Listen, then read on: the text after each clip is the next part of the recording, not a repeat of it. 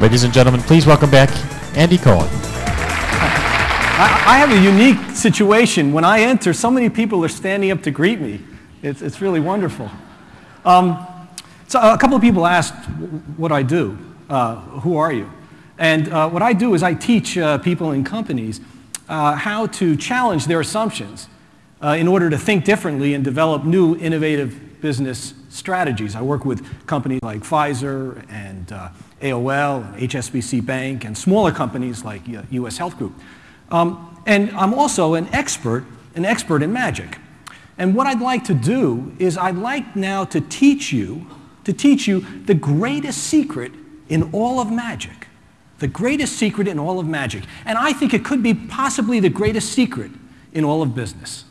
But before I teach you and reveal the secret, I would like to teach you a trick.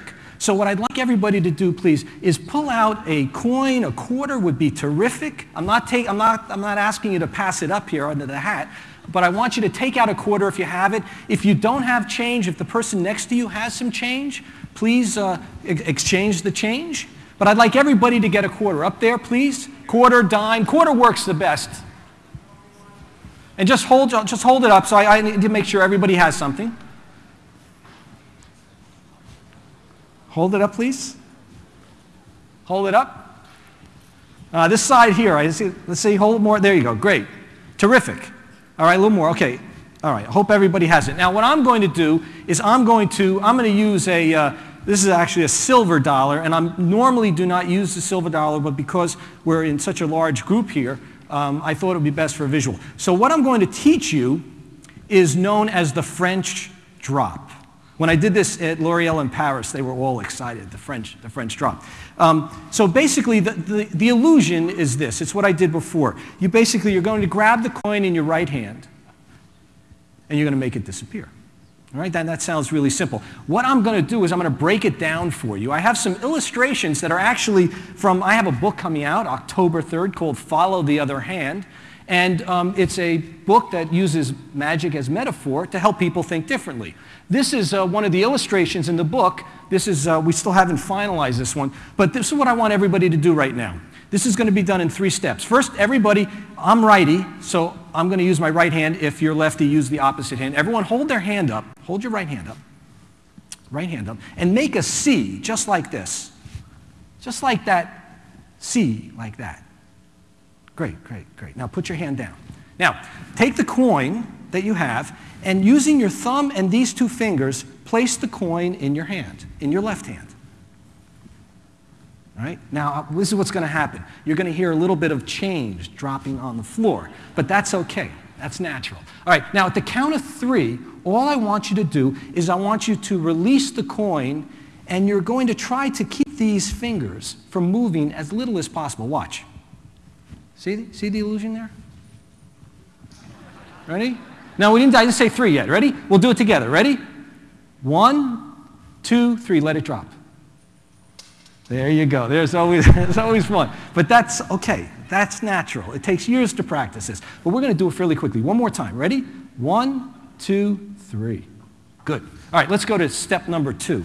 Step number two is now what we're going to do is we're going to bring the C underneath the coin.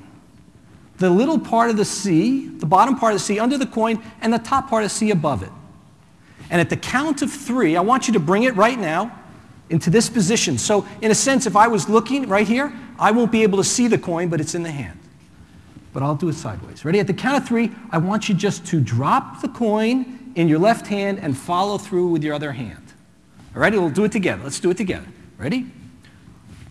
One, two, three. I am impressed. That's pretty good. Let's try one more time. Let's try one more time. This is, uh, this is really good. You are a very good audience here. All right, ready? We'll try it again. Make the C. Bring the C through. What is kind of hiding the coin, drop the coin, and move through. That's terrific. That's great. Now, is there a brave soul that would like to stand up and just try this? Do we have one brave soul? We usually have one brave soul.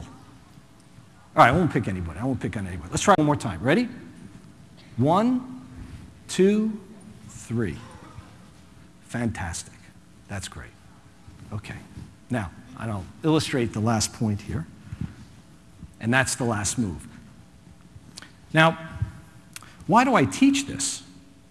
Besides, it's fun to learn and you get to learn a trick. This is really the story behind the greatest secret of all of magic, and I'll reveal it right now. The greatest secret in all of magic is that the secret is not the secret. The secret of all of magic is you. And let me explain. We all have a desire to learn and figure out what's his secret. How do they do it? How does she achieve that? It's impossible. I want to know their secret. But the reality is that we all just learned exactly the same secret, exactly at the same time. And yet, as I watch each and every one of you, you perform that and use that secret differently. Some of you are technically proficient, you perform it flawlessly. Other people, I can see in your eyes the way you're going to do it, you're going to tell a little story. Other people will be very good at it but not interested. So the issue is the real question that you have to ask yourself today as you absorb all this knowledge, the question I'd like you to ask, I'd like you to ask yourself, whoops, come here, whoop, what's your magic? What is it that makes you unique? What is it? What is your vision? What is your passion? Because it is that vision, that passion, that is going to make all the information that you learn today be able to put it into use and profit from it. And profit from it. Michael Dell's magic is not about making computers. Michael Dell's is a passion to eliminate the middleman. He's been doing it ever since he's 12 years old, when he started his first direct stamp business. That is his passion. So I want to, and I invite you today, to listen, to absorb, and then to begin to think how you are going to apply your magic to the information that you've learned. And I can see that you're listening. Some of you are actually even taking notes. And I will tell you that you will succeed. And when you do succeed, maybe a week from now, three months from now, six months from now, or maybe a year from now, one of your peers is going to come up to you and they're going to say, How did you do that? How did you succeed? And you're going to answer the same way magicians have answered that question for centuries. You're going to say, I did it extremely well. Thank you very much for your time.